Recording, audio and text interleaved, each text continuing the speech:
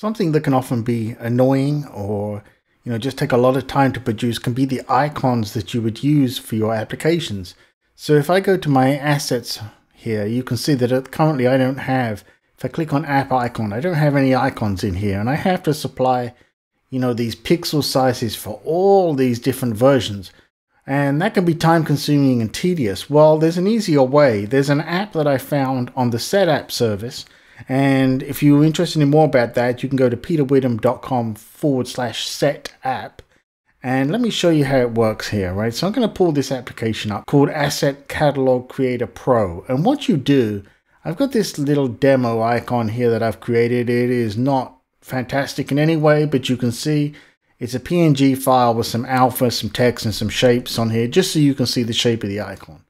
And all I'm going to do is I'm going to drag and drop this image here onto the application. And you can see that depending on what I select here I can get previews of what I'm going to create. So there is an awful lot of options. I'll go through some of them quickly. Like this one here the launch screen. You can see it shows me how it's going to look if I use it as a launch screen and I can set you know stretched scaled fitted and so on and so on. And I can set all those settings in here including a background color I can see, you know, what it looks like with the black and the white devices. So that's all great. Now I'm going to go over to the app icon here and I'm going to look at some options. So on iOS, I've got the app icon. This is the one that I want to use. I can do it for the other platforms here as well, as you can see. And I'm going to leave it as it is here. Uh, there are size variations. You can also do batch as well, but I'm just going to take this single image and then I'm going to click output directory. And what I'm going to do is I'm just going to take this and I'm going to put it on my desktop here and I'm just going to say save as output directory so you can see what happens. It's going to say, hey, look, you know, you've got some, some things here already, multiple existing asset catalogs found. Uh, the reason being is I've got my demo application here on the desktop as well. I'm just going to say, you know what, just create a new catalog.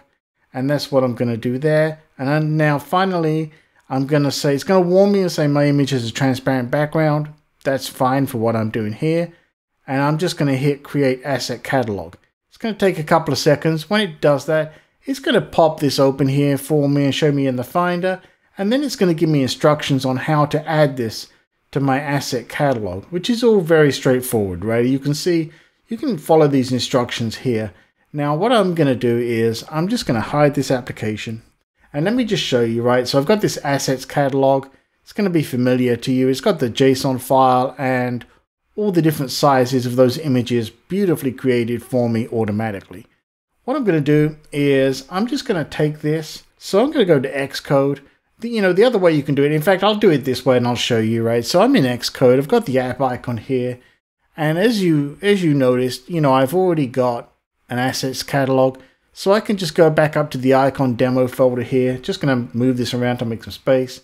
And I'm going to drag and drop that over there like that into the icon demo folder. It's going to say, you know, copy the items if needed, add them to the targets, and I'm just going to go finish.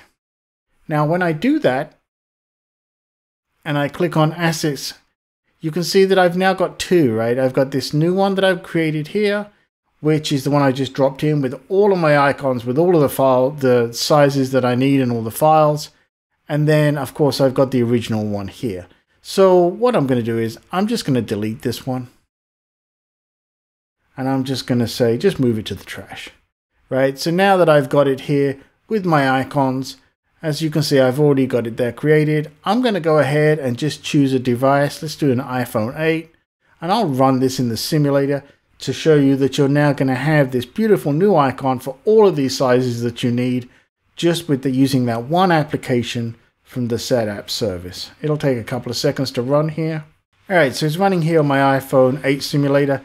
Obviously it's just showing the hello world in the application, but if I go to the home screen, you're going to see, look, there is my beautifully rendered out icon there that I added via the application. So that's how simple and how easy it is using that application to take care of a lot of the problems for you. Like I say, you can do all the platforms, uh, launch images and a bunch of other stuff with it.